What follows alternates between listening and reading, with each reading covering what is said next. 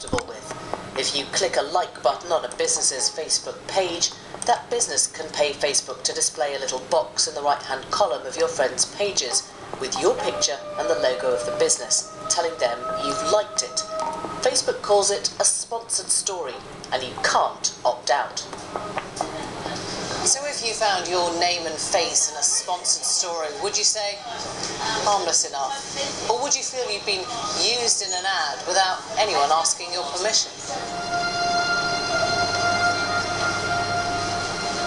If I press a like button on a brand, that could pop up as a sponsored story. I might not know about it. I certainly wouldn't necessarily agree to it.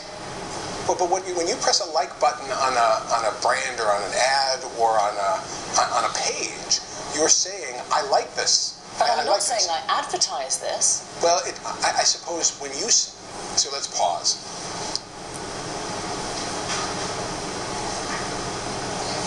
That's an interesting.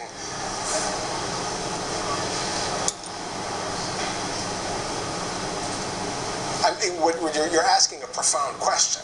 What's advertising? When, when I press a like button on an ad, um, I'm trying on the Facebook system, I'm affirmatively communicating that I'm associating myself with whatever I'm liking.